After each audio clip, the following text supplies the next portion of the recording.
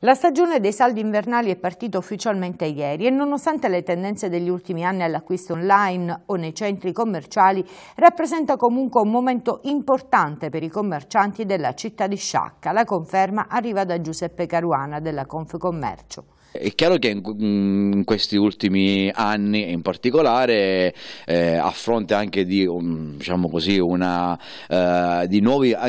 tipologie di mercato, il, cyber, il cybermercato è un dato di fatto ed è in continua crescita ed è una fetta di mercato che si toglie diciamo, al, alle attività commerciali eh, locali quelle diciamo, di vicinato. E soprattutto poi il fatto che durante l'arco dell'anno tra promozioni diciamo, e, anche giornate Black Friday o Cyber, o Cyber quanto si vuole dire, eh, Cyber Monday appunto diciamo, diventa oggi il, il momento è molto meno significativo da un punto di vista commerciale rispetto al passato. Quindi, però eh, dobbiamo dire che è sempre un'aspettativa importante, l'osservatorio di Confcommercio ha diramato dei dati ufficiali per quanto riguarda le spese, la, diciamo, la previsione di spesa pro capite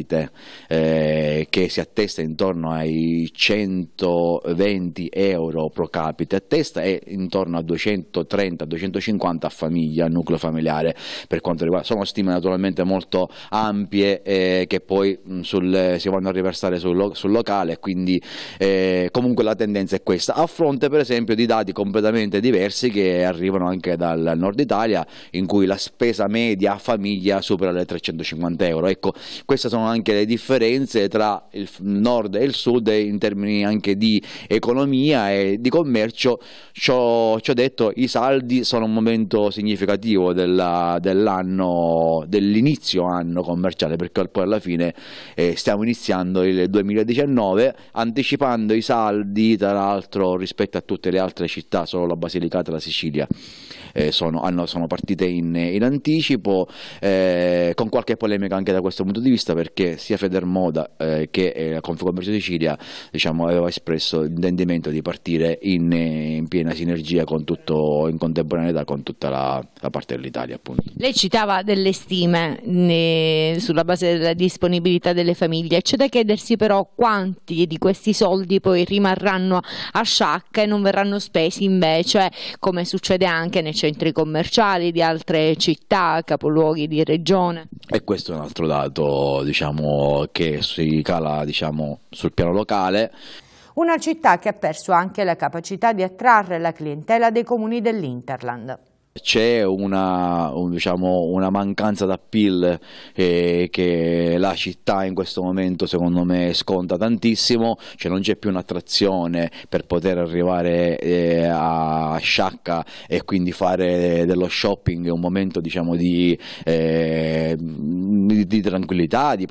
di passeggio eh, e di visitare anche la città, soprattutto dei paesi limitrofi, che purtroppo continua ad essere un dato in eh, tendenza negativa negativa e quindi una buona parte, purtroppo, guardando proprio sul piano locale, una buona parte di quelli che saranno eh, le economie dei saccensi probabilmente andranno fuori sciacca da questo punto di vista. Da questo punto di vista possiamo dire che sciacca si è impoverita e come negli ultimi anni?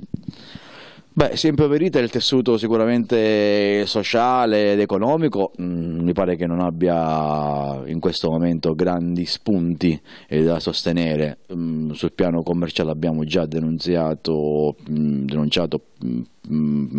la difficoltà di mantenere le sarasinesche alzate e certamente questo è un dato che va affrontato eh, con l'amministrazione comunale, noi abbiamo già eh, presentato una ricca documentazione, attendiamo eh, qualche esito da questo punto di vista, subito dopo le festività abbiamo incontrato, seppur diciamo, in via informare l'assessore la, Leonte al, che è l'assessore al commercio,